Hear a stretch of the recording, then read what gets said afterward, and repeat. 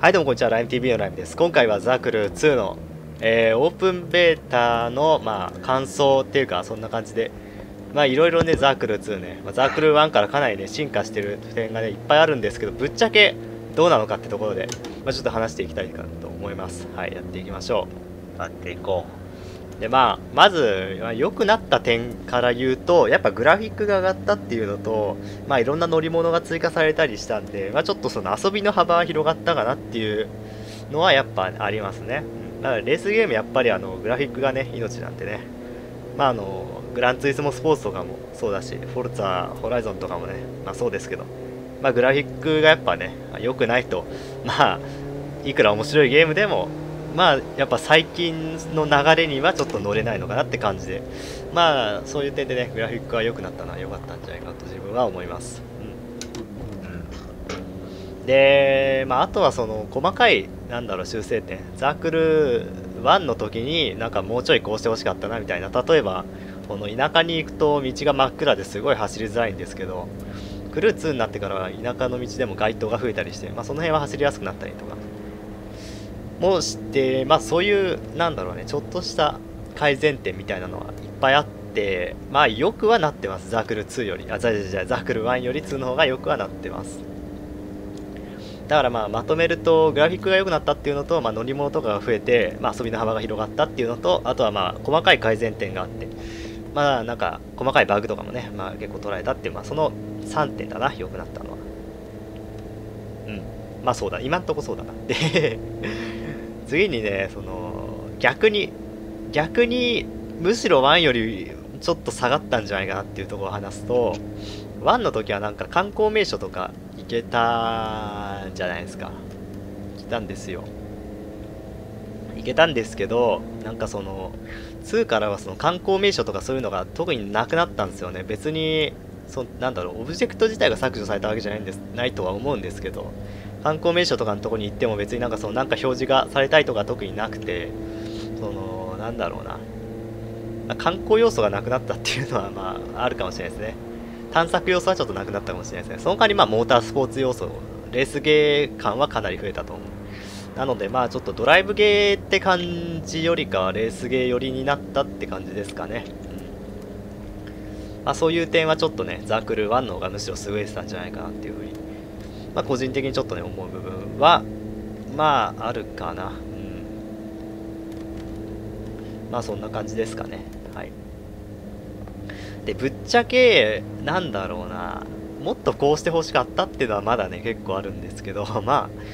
まあしょうがないかなって感じですね。マップがもうザークル1と同じな時点で多分それほど、なんだろうな、もの、まあできてオーバーホールぐらいだろうなと、ま、全く別のゲームみたいになるってことはないと思うので、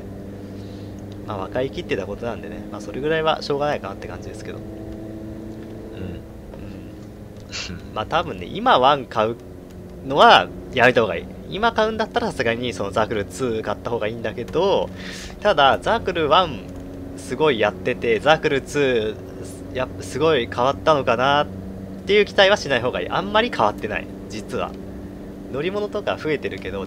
どうせみんなだって車しか乗んないじゃん。車のゲームだからさ。乗り物とか飛行機とか船とか増えたけど、多分飛行機とか船とか目当てでこのザークル買う人はいないと思うんですよ。な、まあ、8割9割の人が多分車目当てで車のゲームをやりたくてザークルを買うと思うんであんまりその飛行機とかボートが増えたっつっても別にそれって多分みんな乗らないから、うん、ないと考えても別に差し支えないというかないものと考えてしまうと乗らないからないと考えてしまうとザークル1と実はあんまり変わんないんじゃないかっていう。ところはまああるかな、うん、マップが同じだしね。まあ、強いて言えばストーリーが違うぐらいだけど、ストーリーっていうかそのなんだろう、世界観がちょっと違うけど、でもマップが同じだし、まあ正直みんなストーリーとかそういうのよりも、まあドライブとかやって、あとは PVP とかやる人がほとんどだと思うんで、あんまりその辺も関係ないのかなって感じで。まあ遊びの幅は広がったけど、そんなに大きな違いがないっていうか、うん、せっかく2作るんだったらも、むしろ別のマップでまた新しく作ってほしかったな感はあるんですけど、さすがにまあ UBI さんもそんなにお金はかけられないと思うんで、まあ、マップのオーバーホールって感じで同じマップだけどまあちょっと作り直し手直しはしてあるよみたいなそんな感じですかね。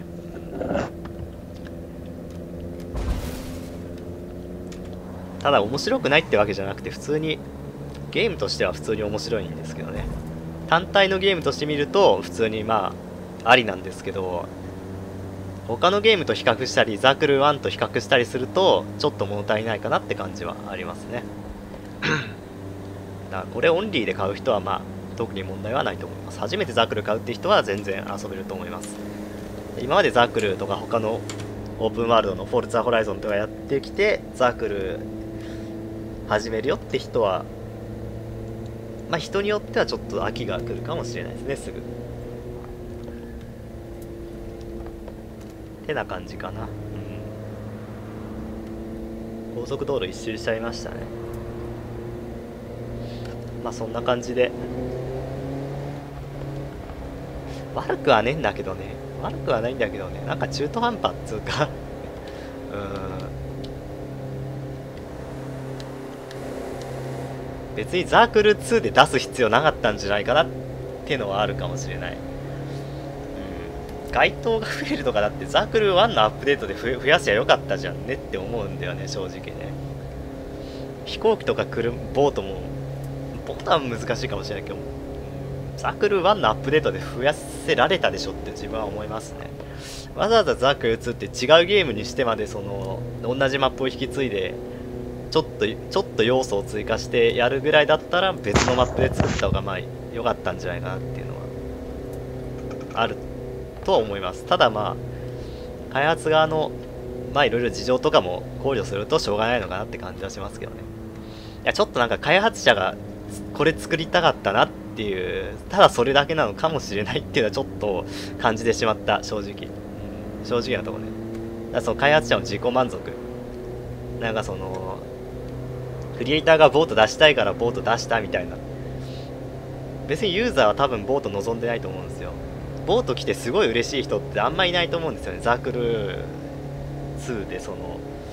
もともとボートが好きな人とかは別ですけど飛行機とかも飛行機が好きであのザークル2で飛行機が出てよっしゃって人は多分あんまいないと思うんですよ。なぜかっつうと別に飛行機なら飛行機で別のゲームがあるじゃないですか。フライトシミュレーターとか。ウォーサンダーとか DCS とかね。こっちの方がだってね期間中とかも打てるし楽しいと思うんですよ絶対。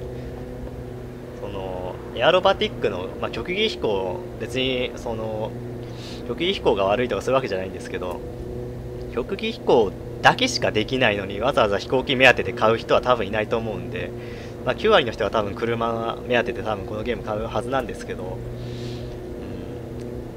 うん、飛行機乗んないでしょって思うんだよね正直。だまあいろんな乗り物が出出て遊びの幅が広がるとは思うんですが幅が広がっても多分やれることが増えるだけなんでやることは多分変わんないのかなって思います、うん、やれることが増えても我々のやることは多分変わらないから結局実質同じ。実質ザ・クルー1と同じ。同じゲーム。うんザ・クルー1のアップデートでできた気がすんだよな。マップのオーバーホールはさすがに無理としてもオブジェクトとか結構変わってるんでそこはきついとしても乗り物その飛行機増やすぐらいなら多分できたはずなんだよな。どうなんだろう。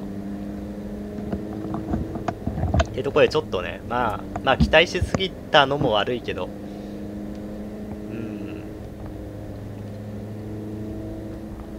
良くなったとこも多いけどクルー1とあんま変わんないところも結構あるなって感じですかね。っていう感じでちょっとまあまあ、ザークル2ね、結構いろんなとこの配信とかでもね、すごい面白いっていうやってる人もいるんですけど、まあ、やっぱ、あれなんですよね、そこから分かるのは、その、初めてザークルやった人とか、まあ、ザークルはほとんどやってなかった人がザークル2をやるとかなり楽しめるとは思うんですけど、自分みたいにザークル1と何年も、2年ぐらい、1年、1年、丸1年、2年かな、やって、やってて、で、ザクル2をやる人にとっては、ちょっと物足りないかな感はあるかもしれないね。って感じですかね。はい。初めてやる人はね、ぜひとも買ってみるといいと思います。かなりね、初めてやる人にとってはかなり面白いと思う。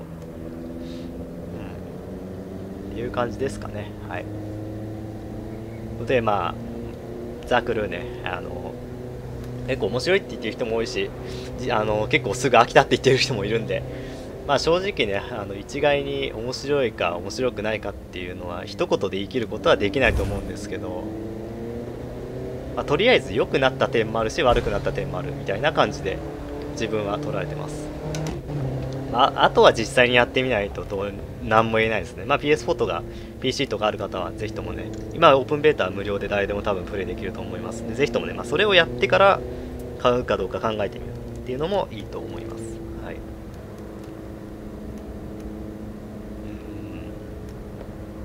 って感じかな。マップ変えりゃよかったんだけどな。なんか中途半端なんだよなやっぱな。うん。まあただ面白くないゲームじゃないんでゲームとしては普通に面白いんですよ。ただ比較しちゃうとちょっと物足りないかな感があるってだけで、まあ、ゲームとしては面白いんでね。まあ今後アップデートで車種とかも多分増えると思うんでその辺は期待ですね。ということで今回この辺で終わりたいと思います。まあ、ちょっとあれですね、生々しいレビューでしたが、